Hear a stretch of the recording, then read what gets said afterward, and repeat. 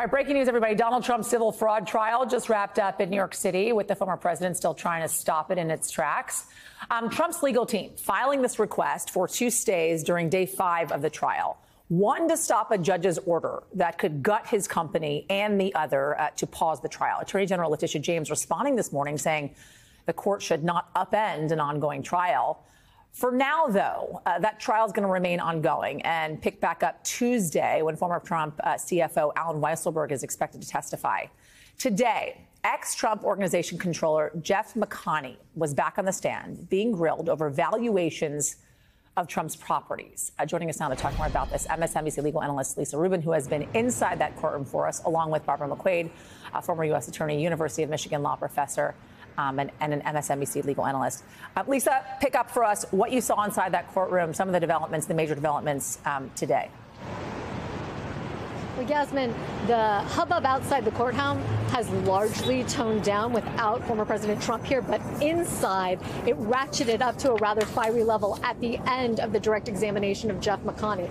That's because Andrew Amer of the Attorney General's office was taking him through some of the most egregious examples of exaggerated valuations, whether it came to telling people in his statements of financial condition that he wasn't incorporating, for example, the value of the Trump brand, but actually assigning assigning 30% or 50% brand premiums to his golf courses, or treating Mar-a-Lago as if it could be sold as an individual residence when there is in fact a deed on it saying it can only be used as a club.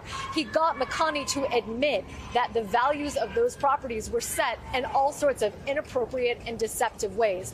But really the fireworks were left for the end when McConney was forced to admit that not only did he engage in much of the conduct that the Attorney General's office has alleged here, but he also assisted former Trump CFO Allen Weisselberg, who, as you noted, is expected on the stand Tuesday morning, in the tax fraud for which he was convicted after pleading guilty to 15 felony counts last year. McConney said that he not only assisted Weisselberg in the fraud, that he knew it was illegal, and most importantly, that he did it because Weisselberg was his boss and he feared for his job. Yasmin, it was quite an explosive day to end the trial day. We know McConney wow. won't be cross examined by the Trump side, and Tuesday morning we'll begin with Allen Weisselberg, as you noted.